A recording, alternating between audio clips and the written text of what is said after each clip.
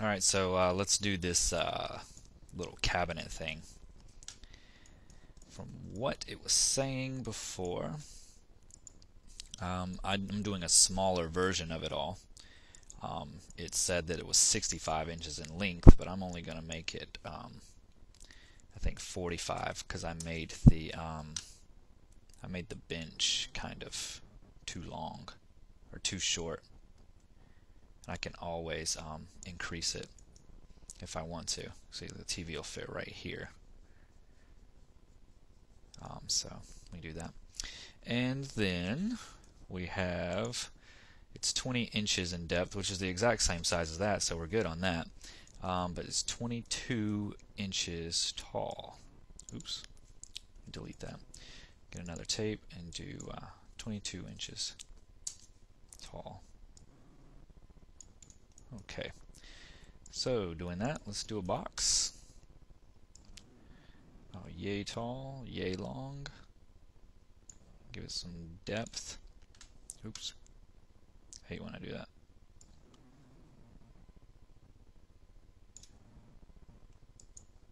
Okay. Type it in 20 inches for the height, which in this case is the actual depth right here, but you get it.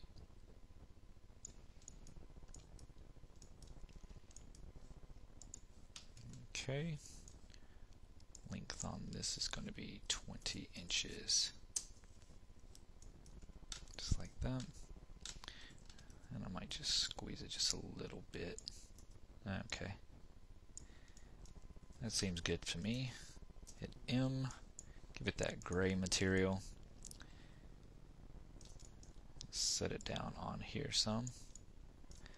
Make sure that it's definitely sitting on it. Sure, click the Y right here, and I'll just bring it down. Okay, I'm going to give it width segments of three, just so I can mark the um, the door area here. I really want that in there because I'm going to use that for my to my advantage here in a second. Convert it to editable poly. Alrighty, let's see here. I'm going to take this off. I'm actually going to um, shift drag it out, call it to object, call it um, entertainment 0, 1. Alright. And I'll select it. I'm going to center the pivot on it. Alright, put it out a little bit like so. I'm then going to take the border of it and just shift drag it back a little bit until it hits it. Just like that. And then what I'm going to do is just scale it in some. Shift drag, scale it in. You won't really see it. It's just putting a little bit on the back, not much. Okay, so we have that. Now I want to take this whole front piece and I want to convert it to the edges. Control click that. And then chamfer that. I'm just going to do a small chamfer. Something like that. F4 so I can see it. Yeah, there we go. Alright, now what I'm going to do is go to my front view and I'm actually going to just shift copy two more over.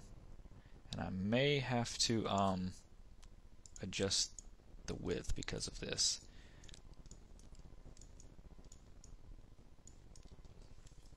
Let's go to the front here. You see it's just a little bit long. That's okay because I'm going to make up for it with this. I'm just going to drag this out. No problem. Done. Okay. So F4. We can see that.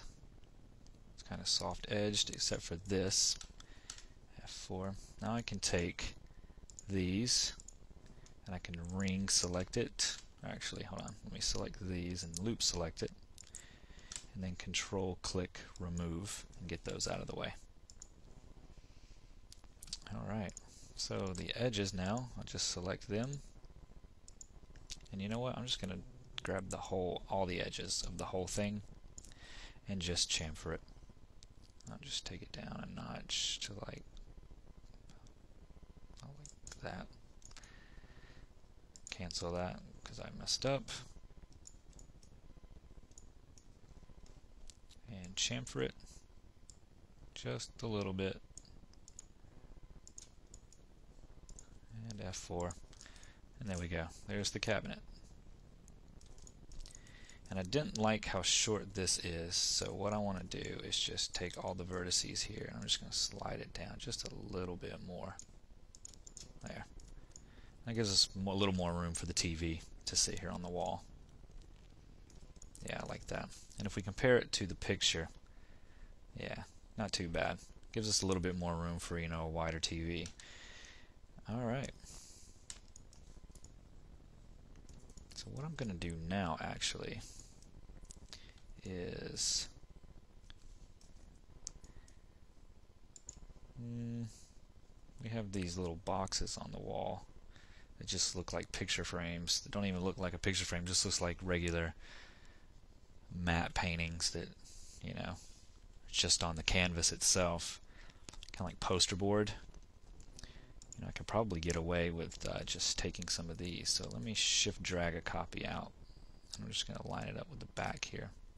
I'm going to call it um,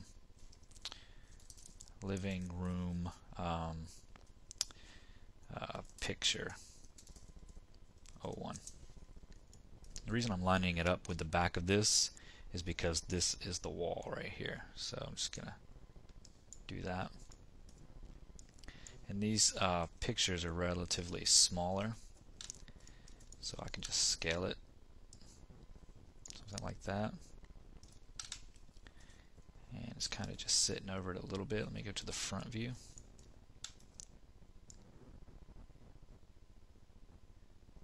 Something like that. Bring it over. So we have that. And then we'll have another one. It's kind of lined up with the edge there. And make one more. And there's our pictures. Just like that. Okay, that was relatively easy. We're going to copy the lamp over. So that's nothing. So I guess in the next video, let's uh, let's model a quick TV and figure out how much detail we want to put on it and how much of it we want it to be uh, showing with the texture instead. So, all right, see you there.